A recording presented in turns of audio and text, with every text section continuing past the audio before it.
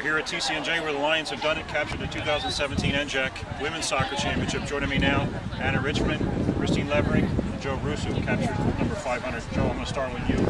500 is a big number. I know this is extra special this week. What's it mean to, to not only reach that milestone, but to reach it on a night like this?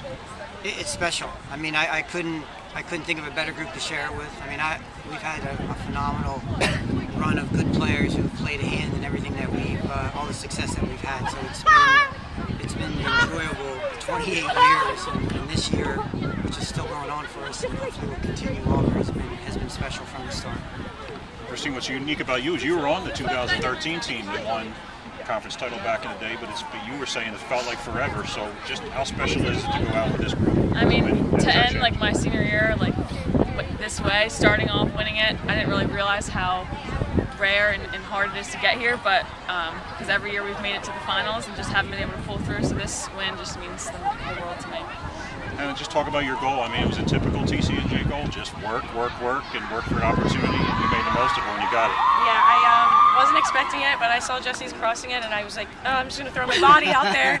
And um, it went in, and I was like in tears, but I was like, oh, there's 20 minutes left, so uh, got to keep working at it. And like, we got the win, but that's kind of what it is. Like, we just got to get something on it, so we did. Talk about the assistant on, the, on your goal, which turned out to be the game-winning goal. I mean, Jesse makes a great play to work to keep that ball in and just serves up an opportunity for you. So you just talk about her play all year, setting up your offense. She is just so, such a, like an attacking force. Like you can tell when she goes down the line, we always like cut, cut. She like she can just beat that last defender and get it across somehow, some way. It's really like I don't know how she does it, but she does. And getting those balls across for us is dangerous. Like whether it's in the air with like Lev or like just the end like a PK slot or something like that's like our bread and butter. So mm-hmm. Jesse's really good at like serving those balls in. What's it mean, Christina, to have an undefeated season? But we were researching up in the press box saying it's been a while since we've had an undefeated uh, women's soccer team go through the conference undefeated. So does that mean anything extra, extra special? Yeah, I mean, even ending last season, I just I knew how many wins he had, and I was like, the only way to get to it, or the way to get to it, is win undefeated and win in the NJAC final.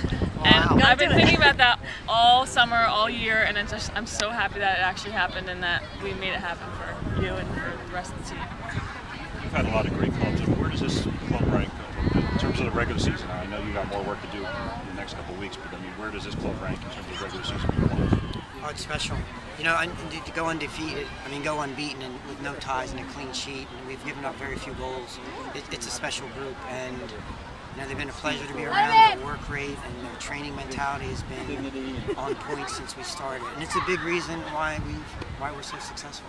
Do You feel like this is a team that can make a deep run in this Definitely. I just think this team's so special, and I just feel good about uh, where our heads are at, and our goals are all the same. We're on the same page, and we really have each other's back. So I think that's really important. Talking about special, what a special night for TCNJ. NJAC Championship. Coach Russo, 500 wins, and the automatic bid to the NCAA tournament. We'll find out where they're going or whether they're staying here on Monday. So congratulations to our 2017 TCNJ Women's Soccer Champion Lions. Congratulations. Thank you.